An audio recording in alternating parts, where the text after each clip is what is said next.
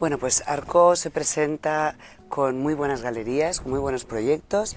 Eh, un total de 209 galerías estarán presentes este año. La sección comisariada de este año, la sección que mm, es auténticamente nueva y única, el título de la cual es, solo cuestión de tiempo, It's Just a Matter of Time, parte de la obra de Félix González Torres, el artista cubano que murió en Estados Unidos de SIDA en el año 96. Para nosotros, los que trabajamos en la feria, las galerías, el comité, eh, nos solemos sorprender cuando una obra pasa a ser la obra tan polémica. No lo buscamos especialmente, sin duda no animamos eh, o no forzamos eso, preferimos poder hablar de todas las galerías al mismo nivel, eso es lo más importante. Y no sabemos de ninguna obra a estas alturas, es la verdad, pero como digo, es verdad que cada año nos acaba sorprendiendo y era esa que no habíamos detectado o que pensábamos que no iba a sorprender.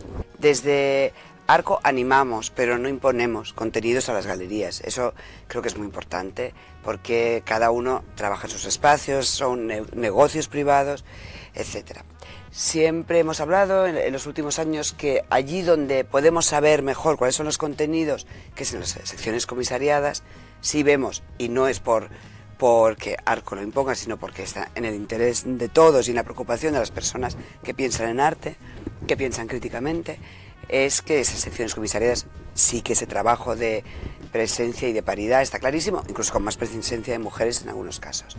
Lo que sí es interesante es que este año las galerías están tomando ellas mismas esa responsabilidad. Cuando nosotros recibimos en los proyectos en julio con el comité, nos dábamos cuenta que muchas de las galerías habían hecho ese ejercicio privadamente, personalmente, habían tomado esa responsabilidad y yo estoy bastante convencida que este año sí lo vamos a ver.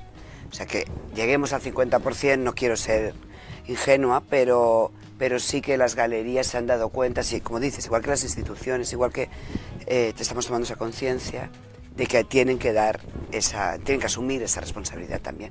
Yo creo que sí que se va a notar.